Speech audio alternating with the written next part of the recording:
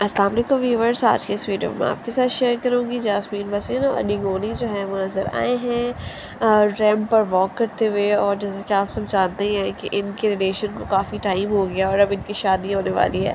सो शादी से पहले जो है वो इनको रैम पे वॉक करने की ऑफ़र हुई और इन्होंने सोचा कि क्यों ना कर ली जाए, क्योंकि शादी भी आ रही है और इनका कपल आजकल बहुत ज़्यादा ट्रेंड पर चल रहा है।